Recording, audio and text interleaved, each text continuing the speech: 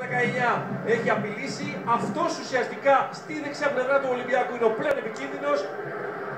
1-1.